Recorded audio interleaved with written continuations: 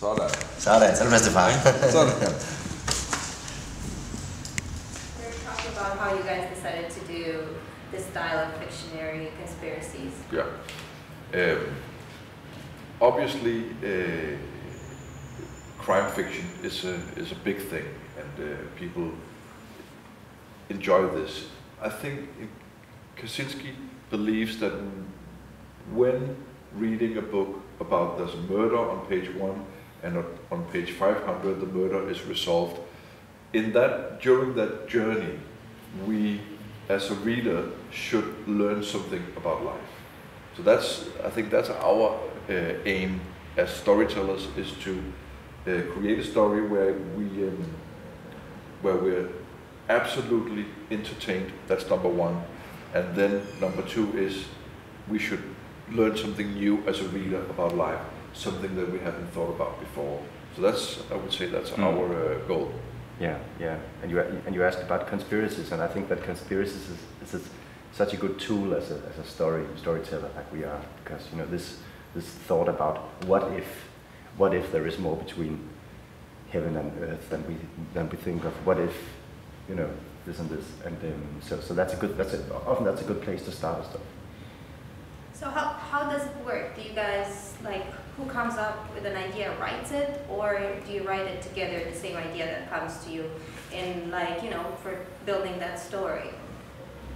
it's a process. We, we're talking all the time, as I said before. We just we just you know sit down and talk and talk and talk, and uh, then c- comes up with an idea, and I think yeah maybe that's a good idea. Maybe we could change it a little bit, or maybe I think no that's not a good idea. I don't think so, and then we discuss, and, and so it's like a process, and, and uh, so you cannot say he does that and he does that. It's like a you know, and what what uh, it's both of us, you could say. Yeah. It's very uh, sometimes it seems very chaotic, Yeah. even to us, uh, how we uh, how an idea uh, sort of uh, transforms itself from from a fluffy thing to something that's solid enough to actually uh, you know can turn into a, a 500 page uh, thriller. Uh, but uh, that's that's the process of it, and, I do believe I've, I've made five feature films, directed five feature films and TV series, and written novels, and Jacob has written uh, 30, 30 books on his own, and I do believe actually that uh, two minds are stronger than one uh, in this genre. I think obviously when, when you're writing about your extremely personal experiences, growing up, uh, biography, bi- more biographical stuff, uh, then then you can only do that on your own. But but entertainment literature, uh, like we're writing, is is uh, better conceived in two minds than one. Mm. And even to us, it's like a, it's like a miracle. We talk about that sometimes. It's like a miracle when there is when the book is finished because we have so much chaos during the writing process and during the you know finding the good ideas and so all these discussions and all these uh, notes and our walls and every and everywhere where we write them will become one book one day. And that's a miracle whenever that happens. So how do you deal with the ego? Like, usually writers have egos. Yeah. Like, I wrote that, you know, so how do you guys, like, manage to actually be a team when it's mostly a one-man show? Yeah. Yeah, we have egos, of course, but it's um, maybe not so big. I don't know. Maybe, maybe because we've had we've had a, some some success with Kazinski. Maybe that taught us that uh, the that feeling, you know, maybe uh, made us realize that we would have to work on our egos. Because obviously any writer has a big uh, ego, any director, any actor has a big ego, and uh, and I think it's it's uh, we matured during the books that we've written and uh, and worked and we worked on our ego problems. Mm. Yeah, it's it's been hard work to to actually say okay, maybe I have to uh, downtone myself a little.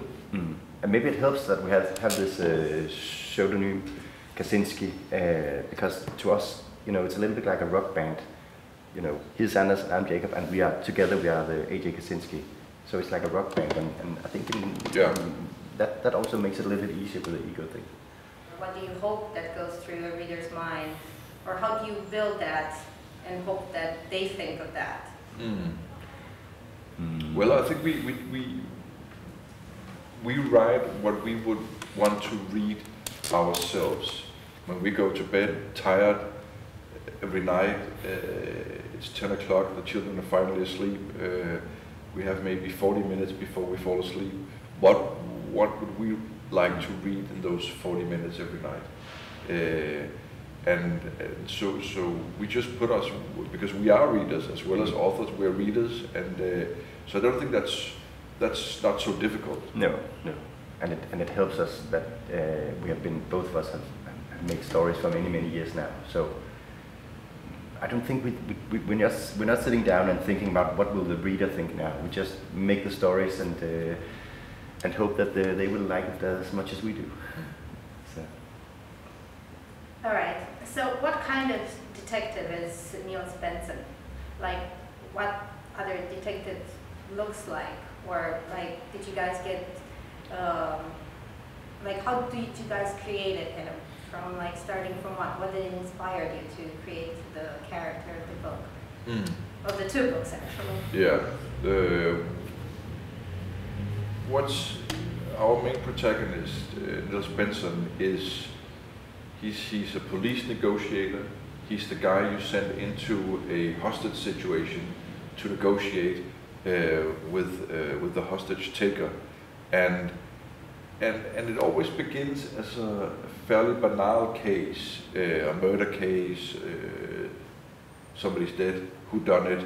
But during the course of this, Niels Bentzon always finds out that there's more between heaven and earth. And I think this subject interests us hmm. in, in, in a time when we, we, we sort of live in, in, in a know-it-all kind of time. And, uh, and we wanted a, a, protagonist that could, that could help us uh, explore all the unknown sides of life and death. Mm. I'm talking about who is Niels Bentzon, who is he within, what's his feelings, what's his thoughts about. We often talk about that his, uh, his, his, uh, his a combination of us, his, his Anders and, and Jacob, uh, because it, it would be impossible for us to, to, to make him into to something else, I think. His, um, the way he sees life, the way he, uh, the way he feels about uh, anything, most things, uh, it comes from, from us. So he's, in a way, he's, he's us. So would you guys call it your alter ego? Like maybe in a way, yes. In a way, yes. But with a more, a more interesting job, a more fun job, maybe. Being a negotiator. Yeah. All right. So if you guys came here for um, for the book fair, so what are you guys bringing to the Romanian readers this year at Gaudeamus? Hopefully, two good stories, two books. Uh, and um, and we're looking forward to meet our Romanian readers. Of course, it's it's always funny. You know, most of the, most of our days we just sit back home and writing and uh, talking, and uh, nothing much happens. So for us, it's of course it's very funny to come here, and it's uh, nice to meet to meet the readers and people who actually read what we have uh, been working on for so long. Well, uh, the Last Good Man is is uh, is a detective story. It's a thriller. It's there's seemingly there's these murder cases all around the globe uh, where somebody is is is murdering uh, good people, people who work for humanitarian causes and stuff like that, and. Uh, and uh, our detective uh, in Copenhagen is, is, is given the task of um, find find the ten good people and in, in the kingdom and uh, notify them that you know check up if, if, if they're well? Have they seen anything suspicious going on? Do they feel any threats to their lives? And and uh, and slowly this thing develops into a chase to find the last good man. Uh, so so uh, that's uh, that's the basic premise uh, of of the last good man. It's a, a, a, global murder case, you could say, and, and, and Niels Bentzon has to has to solve it before it's before the world comes to an end, actually. And the second book is the. The Sleep and the Death is called. Yeah, it's a Niels Bentzon story also, of course, and um, and uh, it's a story about. Uh, in the beginning of the story, there is a there is a, a, a woman, uh, frantic and, and, and extremely scared and running around naked in the streets in Copenhagen. Uh, she ends up on a bridge and threatening to, to throw herself out and kill herself. Niels Bentzon is called in to, to, to try to, uh, to talk her from killing herself, prevent it. He can't prevent it and she jumps into death. And then, um, and then uh, uh, she's uh, uh, There's an autopsy. autopsy. Yes, autopsy reveals that she has been drowned just before she jumped. So, uh, so actually, uh, so now, now this whole mystery starts off. Uh, who drowned her just before she jumped and why? So it's Yeah, uh, she's been drowned and resuscitated. And resuscitated, yes, of course, yeah. And, and, and then she has escaped this madman and, and has killed herself. And, then and, and what's going on in this, in this uh, thing? So it's a story about um, death plays a very important part in this story. It's like a journey into death, you could say. There's a third book, but we can't say anything about it. We could, but then we would have to kill you. Recently, in 2013, this year you released another book, uh, A Holy Alliance. Mm, Yeah. It's just came, come out in Denmark just a few weeks ago. Yeah. Can you can you tell me about it, or when do you think we can uh, read it? Because I hope you could read it in, in uh, Romanian in 2014. It, it's actually about um, the royal families in Europe. Uh, the Holy Alliance is an alliance between all royal families in Europe because all the royal families, they're actually one family, they're intertwined by blood over a thousand years, married into each other.